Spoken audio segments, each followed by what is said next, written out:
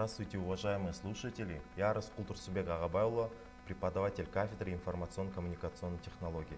Сегодняшняя тема нашей лабораторной работы – это разработка структуры баз данных, создание таблиц, запросов, создание форм, а также работа с реляционной базой данных MySQL. К тому же а, а, а, администрирование баз данных MySQL с помощью PHP MyAdmin. Так, основная цель нашей э, лабораторной работы – это умение создавать базы данных, новые базы данных, то есть точнее таблицы, также э, запросы, шаблоны, макросы и работать с базами данных. Цель нашего обучения – это изучение данной темы, это в первую очередь создание таблицы. Таблица – это основная часть э, любой базы данных, к тому же работа с таблицами, создание запросов, создание конструкторов, создание форм, также создание отчетов – понять, что такое отчет, понять, что такое форма и так далее.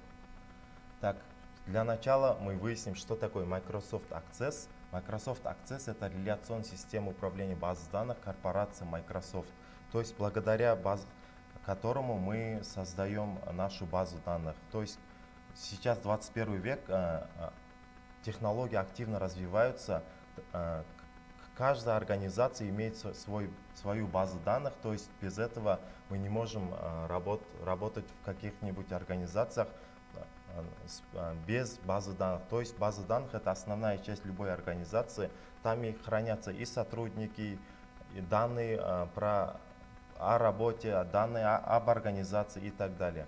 В первую очередь для, для создания баз данных мы заходим э, в Microsoft Office и оттуда зайдем в Microsoft Access. Microsoft Access это просто одна из частей Microsoft Office, как, так же как и Word или Excel. Просто заходим в Microsoft Office и оттуда заходим в Microsoft Access и создаем, у нас открывается вот такая окошко, рисунок первый и создаем базу данных. То есть просто кликаем левой кнопкой мыши на создание базы данных. И на, на втором рисунке у нас появится такая окошко с названием базы данных. То есть мы вводим имя базы данных, определяем файл, и файл будет иметь расширение ASS. Создаем базу данных, например, я создал базу данных сеть кинотеатров. То есть, я, э, чтобы создать базу данных, э, главное заходить в Access и создать базу данных. К тому же мы задаем имя файла, и затем у нас выходит такая таблица. Так, в рисунке третий я заполнил, например, нашу таблицу и дал название таблицы. Я дал название таблицы кинотеатр. То есть а, внутри, внутри кинотеатра я написал туда, например, сеансы фильмов, цена фильмов, а, время, зал и так далее. В четвертом рисунке мы обязательно меняем конструктор, баз, нашу базу данных, потому что это основная часть, без которого мы не можем создавать запросы. То есть э, для, для этого мы просто кликаем левой кнопкой мыши на таблицу и выбираем оттуда конструктор. Это называется режим таблицы. Так, на пятом рисунке мы заходим в конструктор и оттуда меняем типы данных. Например, если у нас э, зал, как зал, у нас поле зал, получается мы туда пишем цифры. Это получается у нас числовой база, числовой тип данных. Если у нас, например, цена, это, это означает деньги, цена это же деньги, Получается, там тип данных мы меняем на денежный и так далее. И рисунок шестой мы создаем конструктор запросов. Для, для этого мы заходим, э, как вы видите на шестом рисунке, создание конструктора запросов, э, сверху правый угол. Так, для начала мы узнаем, что такое операторы запросов. Э, существует несколько видов операторов для создания запросов. Первый это оператор select. Select с английского переводится как «выбрать». То есть мы выбираем просто определенное поле с помощью select. Следующий у нас идет, например, from. From э, всегда пишется перед э, названием таблицы, то есть from переводится как откуда. То есть мы берем э, из какой таблицы, мы определяем, откуда берется у нас данные. Так, следующее можно сказать, это, например, where. Where, она просто определяет условия. В следующих рисунках я вам покажу, как это работает на самом деле. Так, седьмой рисунок это запрос таблицы баз данных. Для, для этого мы, мы пишем туда, например, реж, мы меняем для этого режим, в конструкторе запросов мы пишем туда select, звездочка, from кинотеатр. Что означает select? Мы, то есть select, звездочка означает, звездочка означает это а, все поля. То есть мы, мы можем туда писать select, например, цена или же зал. Но я написал select, то есть я выбираю все поля. Select звездочка и from кинотеатр.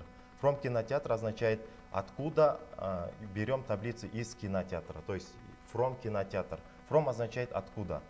И выполняем данных для того, чтобы выполнять запрос. Мы заходим просто, как вы видите на восьмом рисунке, выполнять запрос. Там есть э, восклицательный знак «Выполнить».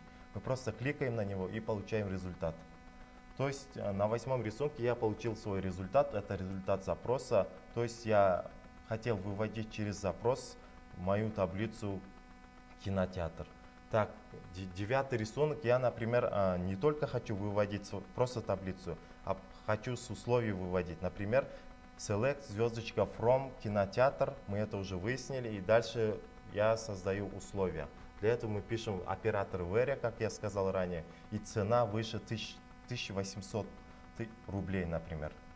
То есть нам, нам, э, запрос нам должен был выводить именно те фильмы, которые превышают цену 1800 рублей. Как вы видите на десятом рисунке, он, э, у нас вывод, э, запрос выводил только фи, те фильмы, которые превышают 1800 рублей. Это э, два фильма, как вы видите, это результат запроса рисунок 10. То есть запрос, запрос может предоставлять собой обращение к данным для получения определенной информации. То есть если э, каждой организации существует огромная база данных, это называется большая база данных, э, огромная база данных существует, без запросов мы не можем найти нам э, нужную определенную информацию из всех этих э, хаосных там, баз данных. Так, в, в, в заключении можно сказать, Access это функционально полная реляционная СУБД. СУБД это система управления баз данных. В ней предусмотрены все необходимые средства для, для поиска данных или для фильтрации данных и так далее. Баз данных в системе управления используется везде, в торговле, медицине, криминалистике, в искусстве, также в разных, например, в сайтах аэропорта и так далее. На этом у нас лабораторная работа заканчивается. Спасибо вам за, за внимание.